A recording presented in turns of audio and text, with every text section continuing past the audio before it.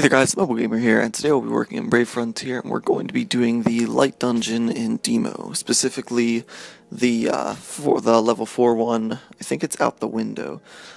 So, they released the 6-star Deemo, and you can get her, well you can get the 5-star Deemo I think from farming this last level.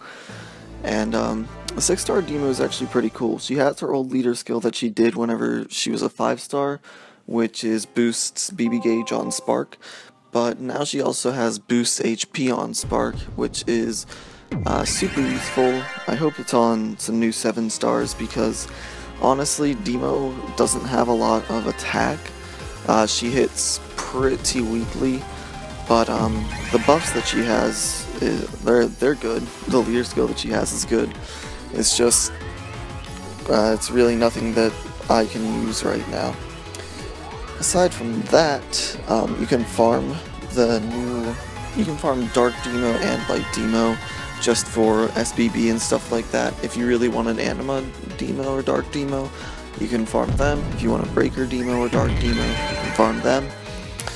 Um, Dark Deemo has some different skills. I have her as my leader for this uh, this video. I also have the friend leader as normal deemo, the uh, light unit, and I also have my light deemo in the video as well. Along with that, we have Krantz, Xenia, and quite honestly, I forget the other person, but they're probably not even all that important. So, I thought what I thought was pretty cool is that um, my six-star Anima deemo, since I got my deemo's Anima, uh, my six-star Anima deemo has over 7,000 HP just as a base stat without any spheres. So she can get uh, over 10,000 HP with, uh, with spheres, so I thought that was pretty neat, pretty useful. And my Dark Deemo, I forget what type she is, but um, he is, he and she. But um, yeah, forget what type they are. Uh, 7,000-ish HP with a sphere. I dual sphere Dark Deemo just because I have a dual sphere Light Deemo and I wanted to kind of even out the whole thing.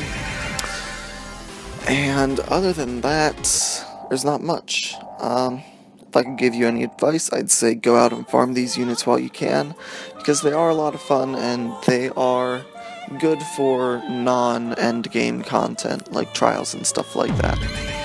Trials, uh, RC5 Raid, probably not your best unit, but for stuff where you just want to have fun or stuff where you need a little bit of extra HP regeneration, I'd say go for it.